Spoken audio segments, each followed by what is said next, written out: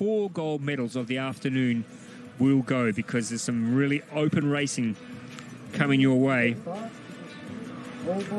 Really looking forward to this next race. It's the C2 Women's 200. It's not an Olympic event. There is an Olympic champion boat in this field. In lane four, the Chinese combination of Xu and Sun. They are world champions in the 500 meters, K, C2 500. They are Olympic champions in the C2 500. And here they are having a crack at the C2 200. They are a quality combination. Will they be any good over the 200? Well, let's just wait and see because inside them there is another Chinese boat. There they are, Shuai and Lin. They were second last year at the World Championships. A little bit of Chinese rivalry here in lanes three and lanes four. And here's the, the combination that could upset the apple cart. Jacome and Corbera from Spain.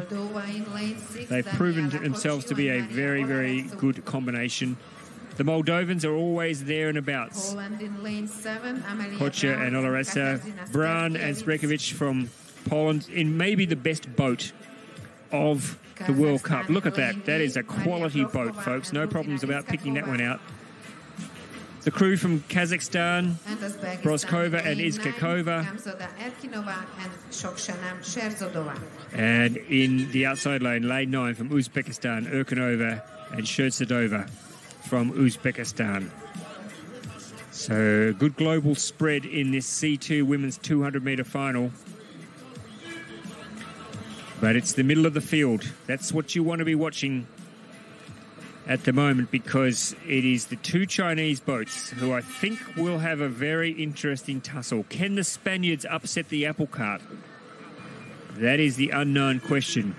But there's absolutely no doubt at all about the quality of the Chinese combination in lane four. They are 500 meter Olympic and world champions. What are they going to be like over 200 meters, though? Let's see as they get away to a pretty good start, too.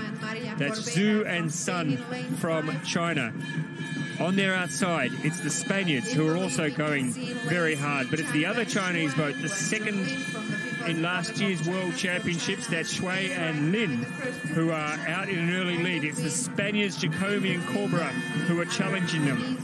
Xu and Sun at this stage falling off the pace a little bit. So it's Shuai and Lin from China. It's Jacome and Corbera from Spain. It looks like the Spaniards could be the ones who take the gold here. It's Jacome and Corbera. Yes, they'll take the gold medal. Perfectly judged race for the girls from Spain. Second to Shuai and Lin from China.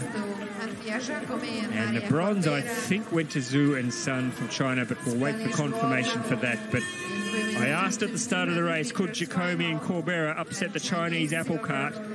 there's your answer, folks. Yes, they could.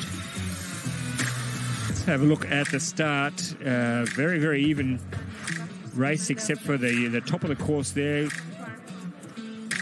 Fell away quickly. It was Shuai and Lin from China who set the early pace.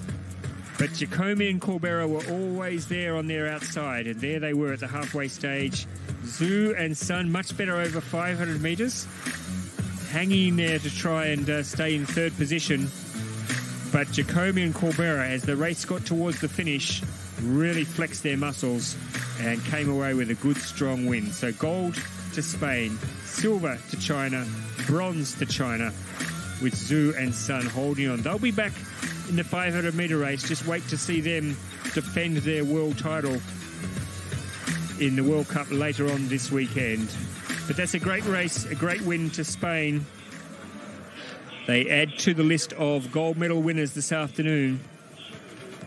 Very impressive spread of gold medals going to all corners of the globe, which is what we want to see. It shows that this sport is healthy and thriving all over the, the planet. The finals, so, so the Poles finishing in fourth position.